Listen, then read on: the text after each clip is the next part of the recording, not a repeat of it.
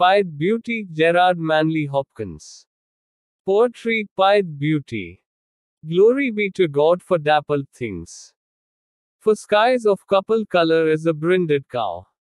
For rose moles all in stipple upon trout that swim. Fresh fire chestnut falls, finches wings. Landscape plotted and pieced fold, fallow, and plough. And all trades, their gear and tackle and trim. All things counter, original, spare, strange. Whatever is fickle, freckled, who knows how. With swift, slow, sweet, sour, a dazzle, dim. He fathers forth whose beauty is past change, praise him. Poem Pied Beauty by Gerard Manley Hopkins. The poem, Pied Beauty, by Hopkins, builds up through a description of a variety of beautiful things which either are pied or contain opposites of various kinds color, taste, speed, brightness to an assertion of the creator of them, whose ability to comprehend the paradoxes within his unity aptly demanding praise, which ends the poem with a formal perfect by returning to its beginning.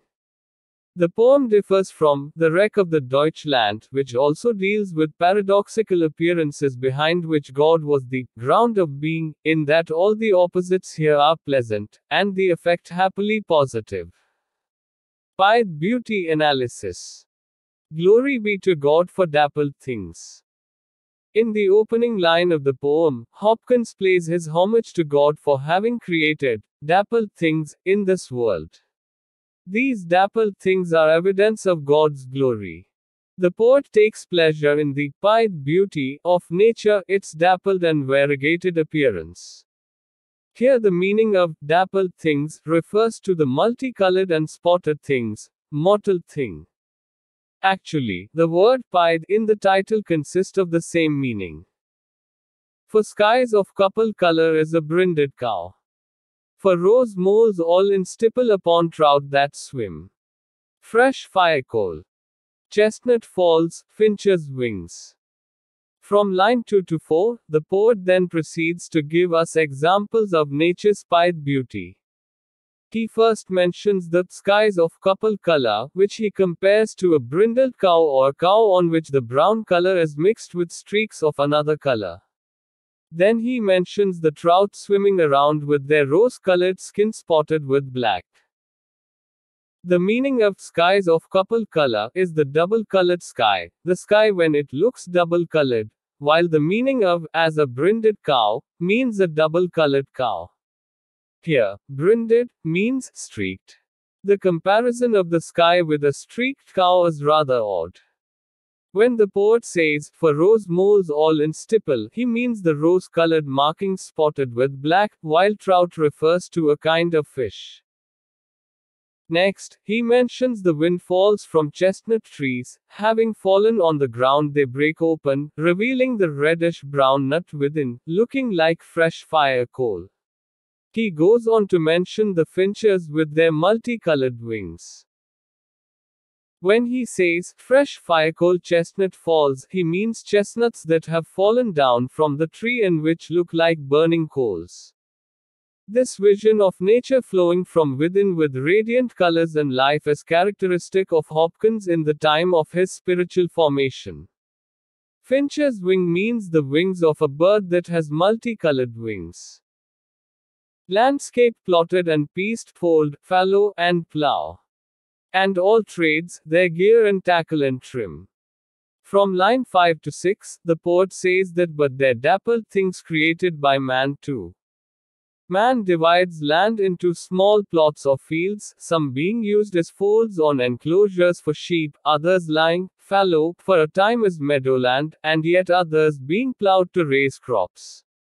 Then there are different kinds of industry, with their neat and well maintained equipment and apparatus.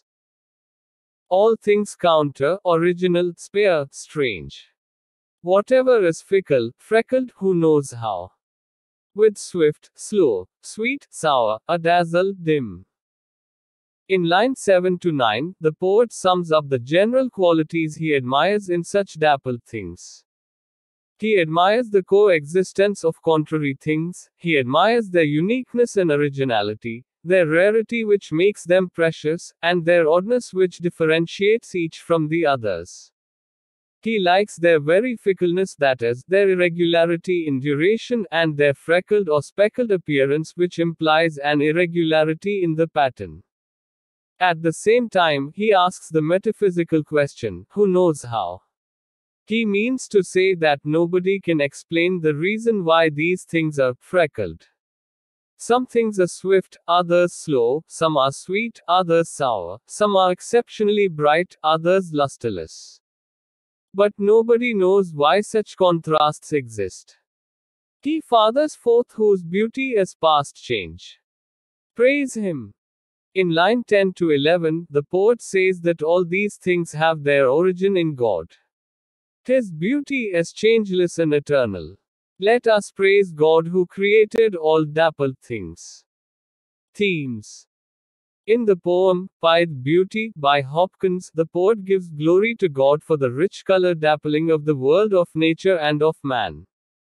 As illustrations of the pied beauty of the world, he mentions 1. Skies of couple color.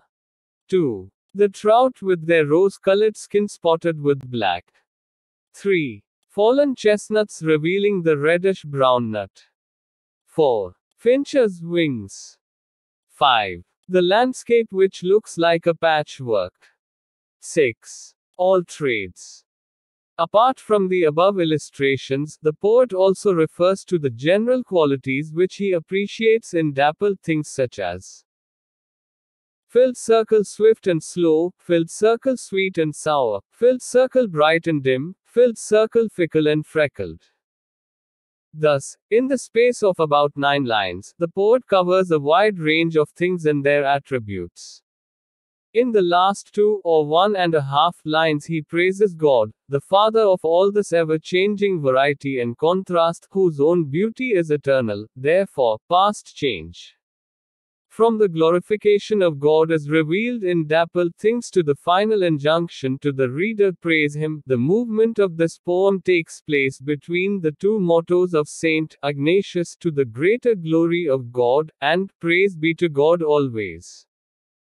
The original mottos are in Latin, of course, one ad majorem Dei gloriam, abbreviated as AMDG, 2, Laus Deo semper, abbreviated as LDS. Pupils in Jesuit schools follow the practice of writing the former motto AMDG at the beginning of each exercise, and the latter motto LDS at the end.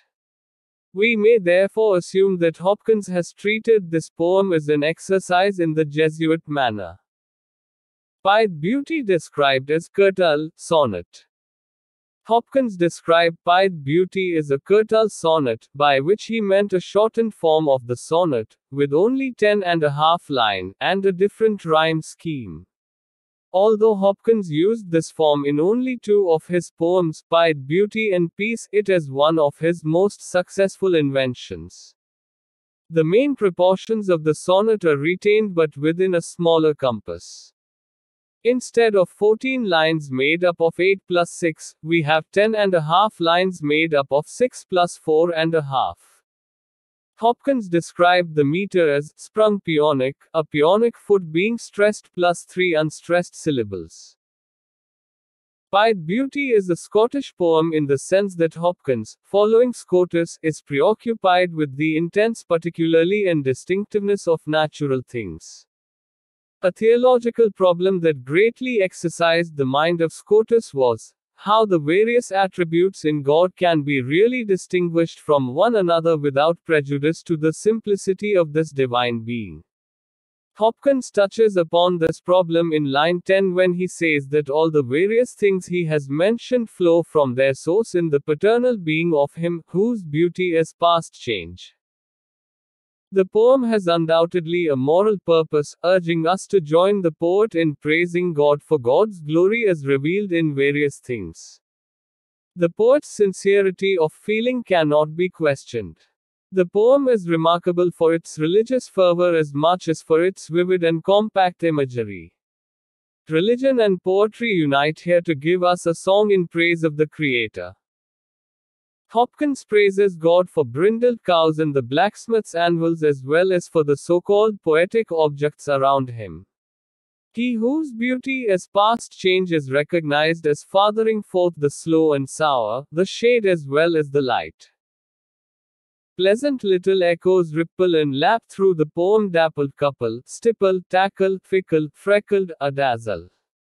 Fold may be taken two ways of a sheepfold and its associated meadows, or the folds in the ground. Critical analysis the conclusion of this sonnet is that all this variety of mortal beauty must proceed from him whom St. Paul recognizes as the source of all fatherhood in heaven and on earth, the immortal source of all that is mortal. Earthly beauty may be fickle, but in its fickleness there is something that charms us by virtue of him whose beauty is past change. Earthly beauty may be dappled, but in its dappleness there is something that reminds us of Him who is perfectly simple and without differentiation. All good attributes of creatures, however diverse among themselves, are somehow, as Hopkins learned from Duns Scotus, fully present and united in the rich simplicity of the divine being. These considerations terminate somewhat abruptly in the practical exhortation praise Him. In this brief exhortation, everything in the poem, as in the world of nature, is drawn to a point in which all creatures contribute, as well by their varied sounds as by their show of pied beauty, to the grand symphony of praise in honor of their Creator.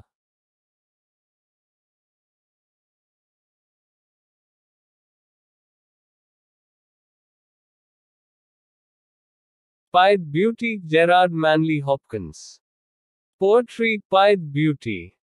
Glory be to God for dappled things. For skies of couple color is a brinded cow. For rose moles all in stipple upon trout that swim. Fresh fire coal chestnut falls, finches wings. Landscape plotted and pieced fold, fallow, and plough. And all trades, their gear and tackle and trim. All things counter, original, spare, strange. Whatever is fickle, freckled, who knows how? With swift, slow, sweet, sour, a dazzle, dim. He fathers forth whose beauty is past change, praise him.